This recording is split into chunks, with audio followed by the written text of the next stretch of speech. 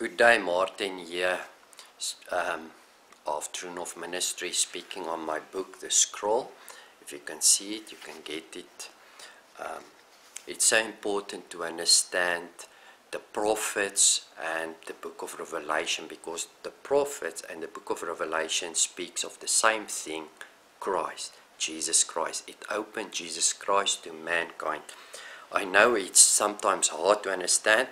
2 Peter 3 verse 16 says, Peter about Paul, some things is hard to understand what he is um, written to the church.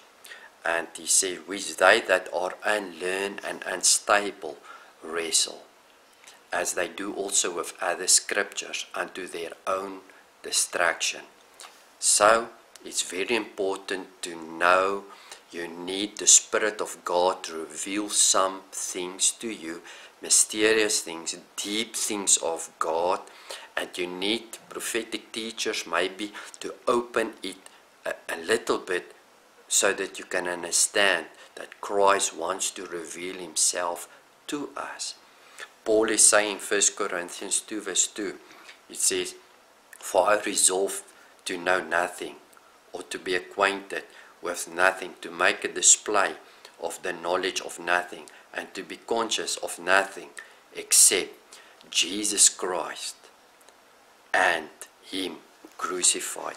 You need to ask the Lord Jesus Christ to open the crucified Christ for you because it's so important. The whole written word is revealing the living word, Jesus Christ.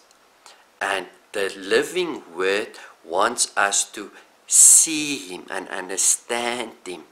And if you can behold him, that's the only way how you can transform your life or change your life to become exactly like him. Paul is saying, I want to know nothing except this fact. Jesus Christ is crucified. That means he did it all and I need to receive it all. Everything is about the crucifixion, the life that came out of this place and out of this time. You cannot figure things out except outside of this thing that Jesus Christ is who he said he is and he did it all for us on the cross of Calvary.